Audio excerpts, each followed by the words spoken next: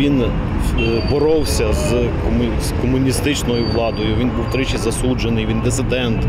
Ну, це людина, яка жила задля і заради України.